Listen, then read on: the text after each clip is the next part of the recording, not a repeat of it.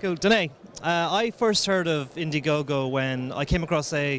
Have you heard of Coder Dojo? It's a, it's a software movement in Ireland where kids, well, all around the world now, where kids are learning to code. But one of the kids was trying to make his own video game, and he was 10 years of age, and he needed a Mac. So he went on Indiegogo and he managed to get the backing, and he bought his Mac that way. So I just thought I'd tell you that story to begin with. But Indiegogo, I mean, how does it differ from uh, other uh, fundraising sites like, say, Kickstarter and, and those?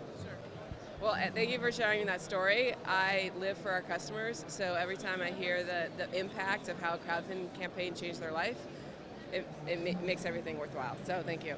Um, so when I teamed up with my co-founders in 2008 to launch Indiegogo, we launched with the mission to democratize fundraising, and we've kept that mission. So Indiegogo is different in very um, kind of a few very specific uh, ways.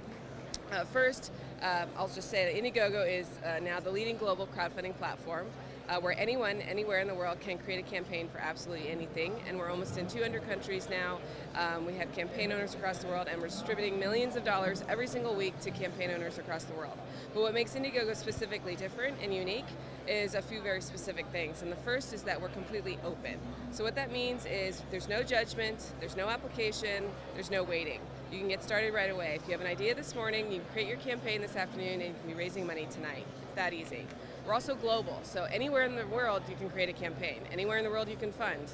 Um, all you need is a bank account or a PayPal account. So it's very simple. We've been very specific about building a global infrastructure to make it very easy for campaign owners, wherever you are, to raise money, or funders, wherever you are, to fund them. There should be no reasons why geographical barriers are a barrier to funding. And then the third reason is we're completely meritocratic. So what I mean by that is, you know, once again, we built we built Indiegogo to democratize fundraising. We did not want to be a gatekeeper. We did not want to be the decision maker as to who gets on the site and then who gets promoted and all that kind of stuff. It should not be up to us. It should be up to the campaign owners and the communities themselves. So the reason um, for that is uh, we believe in democratizing fundraising. So with that, we've created an algorithm called the GoGo Factor, which is a measure of the campaign's activity and the responsiveness of the community. And it's those factors that actually drive the GoGo Factor, and it's the GoGo Factor that determines which campaigns get on the homepage, get placement, get promoted in our press, and all that kind of stuff. So whenever campaign owners come groveling to me and they're like, hey, if I send you cupcakes, will you put me on the homepage? I say, well, I love cupcakes, but not worth it. Save your money uh, put it back into your campaign because it's actually up to you. It's not up to me. If you work hard, you hustle, and you get, get an engaged community, you'll end up on the homepage.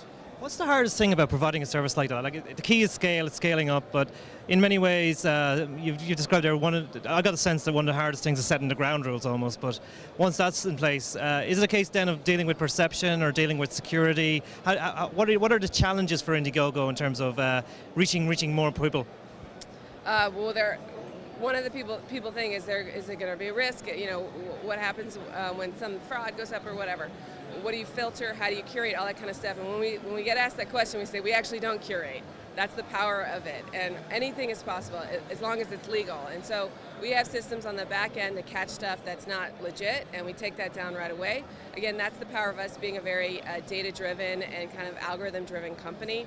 So same thing with the GoGo factor, which is data and algorithms. Same thing on the fraud side. We, we, we pull that kind of stuff stuff down. We also create a very transparent system for funders to communicate directly with campaign owners. So if they're not sure about what they're funding, they have they have the communication platform to to actually engage with the campaign owner, learn a little bit more before they decide to fund. What's next for Indiegogo? I mean, we're in a world where I can just pull out a smartphone and be doing as much as I can do on a computer, for example. Uh, soon, uh, well, if soon, if not now, you can do stuff on your TV. You've got smart TV. Where do you see future technology trends impacting how you guys uh, will reach new audiences, deliver the service to other people? I mean, do you even see a future where Indiegogo can integrate with a live TV channel? The I mean, the world is our oyster. It's, it's really exciting to be at Indiegogo right now because we're growing leaps and bounds. And I think it's because we're providing a service that people really need. So people who need to raise money, they need to do it fast, they need to do it efficiently, and they need to do it um, in a very social and robust and simple way. We've provided that. We've also provided a very uh, relevant experience for funders. So if you go on Indiegogo, the campaigns that you're seeing because of the GoGo factor are all campaigns that have been community validated. So if you are in the mood of like finding something cool in your neighborhood or finding something cool in like an area of interest, if you're a big gamer or if you're a big film buff or if you're a big coffee shop goer, you can fund that kind of stuff uh, right away. So our main goal is to continue to build the flexibility to make the funding and raising money experience super super seamless. An example of that is, and another differentiator for us is that Indiegogo, I think, is the only crowdfunding platform that offers two type of funding options. So for campaign owners, what that means is they can either choose the flexible funding model or they can choose the fixed funding model. Uh, the fixed funding model is the model where you set your funding target, you set your goal, your funding deadline. If you don't hit your if you don't hit your funding target, you don't get any of the money. The money goes back to your funders. You only get the money if you hit your funding target. But we also offer the flexible funding model, which is by far the more popular model, um, and that's where you set your funding target and you get the money whether or not you reach your goal. So again, that's flexibility. Uh, we also work with PayPal and, credit and credit cards, so it's very easy for people to pay. We don't make anybody sign up for a new payment system, anything like that. So as the future unfolds, there are going to be new payment systems. There's going to be new ways uh, to pay online, offline, mobile, all this kind of stuff, and we, we plan to be there uh, to be right where where our users are and make it super easy and fun and efficient to raise money.